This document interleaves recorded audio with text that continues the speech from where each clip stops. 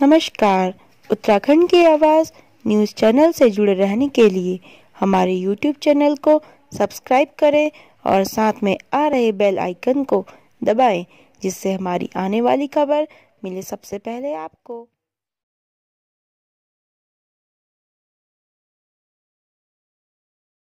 मैं ward number एक का सभासद भुवन सिंह नंगवाल। एक्चुअली मेरे वार्ड में भरतपुरी एरिया में आज से लगभग 2000 2003 के आसपास से एक टावर लगा हुआ है मोबाइल का, जिस वजह से पहले तो खैर इतनी प्रॉब्लम नहीं थी, लेकिन अब वो प्रॉब्लम लगातार बढ़ती जा रही हैं। 2013 में इस बारे में संज्ञान में भी दिया गया था। तो अभी भी हमने डीएम साहब को और तहसीलदार मैम को, ये, अपने विधायक जी और अपने चेयरमैन साहब, सभी को हम लोग अपना ज्ञापन दे रहे हैं। अगर यह कार्यकारी इनके सहानुभूति से और अगर यह काम अगर आराम से हो जाता तो हमें कोई दिक्कत नहीं है। और अगर ये लोग नहीं मानते हैं तो फिर हमें उग्र आंदोलन के लिए उग्र होना पड़ेगा। और उसी के लिए हम लोग अभी ये संज्ञान में देने के लिए इनके पास आए हैं कि ताकि ये टावर अभी यहाँ से हटा दिया जाए।